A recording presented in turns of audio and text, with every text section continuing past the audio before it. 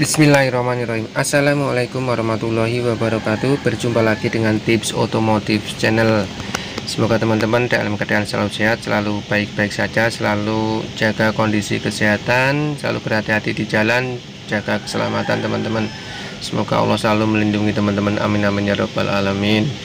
Berjumpa lagi dengan tips otomotif channel. Saat ini saya sedang manasi mobil ya kebetulan ini saya manasi mobil kepikiran ingin memberikan tips eh, bagaimana cara mematikan mesin ya, mesin mobil yang benar agar mobilnya awet tidak cepat rusak teman-teman. Jadi masih banyak dari teman-teman saudara-saudara di luar sana ya eh, masih sering salah menurut saya ya cara mematikan mesin mobil. Yang itu kalau dilakukan secara terus menerus itu bisa membuat e, mesin mobil cepat rusak. Dan cara-cara itu sudah tidak relevan lagi untuk e, pada mobil untuk mobil tahun 2010 ke atas seperti Avanza, Xenia, Ras, Terios gitu seperti itu ya. Yang sudah VVTi yang sudah injeksi. Cara-cara seperti itu e, sudah tidak relevan lagi. Justru akan membuat mesin rusak Nah, cara-cara lama itu seperti apa teman-teman? simak videonya kali ini. Jangan lupa di like share dan subscribe tip otomotif channel. Oke jadi informasinya kali ini uh, masih banyak teman-teman saudara-saudara kita itu uh, ketika mematikan mesin mobil itu dengan cara digeber-geber atau digas. Seperti ini ya. Nah digas-gas dulu baru dimatikan pun uh, di off kan kontaknya. Jangan dibiasakan uh, melakukan seperti itu ya teman-teman. Atau jangan dilakukan cara seperti itu untuk mematikan mesin mobil yang sudah berteknologi modern seperti Avanza Xenia yang sudah menggunakan ECU, sudah menggunakan VVTi ya, sudah injeksi itu tidak uh, justru itu akan mempercepat uh, membuat mobil cepat rusak. Kenapa ya teman-teman?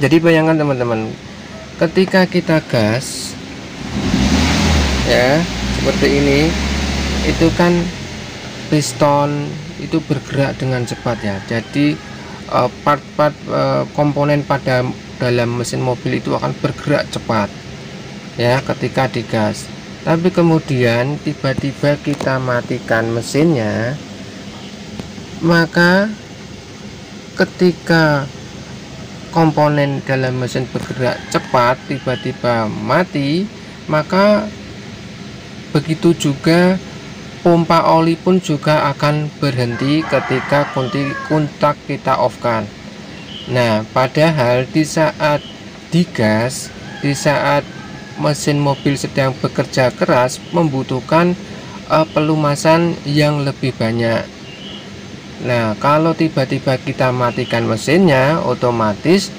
eh, pelumasannya berkurang karena pompa juga berhenti. Maka di situ akan terjadi pergesekan yang membuat eh, di dalam mesin atau di piston itu akan cepat aus. Dan kemudian itu yang menyebabkan akhirnya mesinnya ngobos akhirnya harus turun mesin ganti piston dan ring piston ya teman-teman. Akhirnya oversize nah jangan dibiasakan e, mematikan mesin dengan cara di gas-gas ya. Banyak alasan kenapa zaman dulu itu e, melakukan digas dulu baru dimatikan e, mesinnya kontaknya itu alasannya.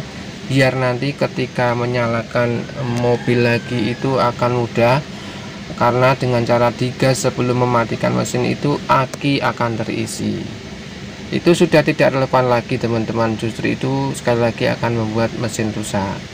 Karena pada mesin teknologi yang sudah modern ini aki sudah akan terisi secara otomatis otomatis kondisi idul seperti ini sudah alternator sudah mengisi teman-teman. Itu eh, itu penyebabnya ya. Jadi jangan dibiasakan mengegas-ngegas itu ya sebelum mematikan kontak. Teman-teman bisa ibaratkan ya ketika kita lari kencang tiba-tiba kita dijegal atau dihadang ya tiba-tiba kita harus berhenti secara mendadak kita akan jatuh maka kita akan cedera. Begitu juga pada mesin mobil kita. Ketika mesin mobil sedang bekerja pada kecepatan tinggi seperti di gas-gas ini ya kemudian mesin mesin mobil kita matikan maka yang terjadi mesin mobil juga akan cepat rusak selain itu ketika mesin sudah panas maka komponen itu semua akan mengembang atau memuai. Dan di situ dibutuhkan sekali lagi butuhkan uh, sirkulasi oli agar mengurangi gesekan atau keausan. Nah di saat mesin panas semua komponen mengembang tiba-tiba kita matikan uh, mesinnya dengan cara mengoffkan kontak maka mesin akan cepat rusak teman-teman. Ya bisa-bisa piston nanti me, akhirnya baret ya. Seperti itu. Oke teman-teman jadi itu tipsnya kali ini ya. Jadi hati berhati-hati jangan dibiasakan mematikan mesin mobil sembarangan ya. Lakukan e, mematikan mesin mobil dengan benar agar mesin mobil teman-teman awet. Jadi pastikan cara mematikan yang benar yaitu pastikan uh, mesin kondisi idle ya. Idle itu di, di bawah 1000 kemudian lebih baik matikan dulu semua kelistrikan AC audio lampu-lampu semua matikan baru kita off kan kontaknya. Nah itu tadi ya teman-teman tips bagaimana cara mematikan mesin mobil yang benar agar mesin awet oke teman-teman Sampai di sini dulu video kali ini. Semoga bermanfaat. Mohon maaf bila ada kurang dan kesalahan. Sampai jumpa di tips selanjutnya. Jangan lupa di like, share, dan subscribe di otomotif channel. Wassalamualaikum warahmatullahi wabarakatuh.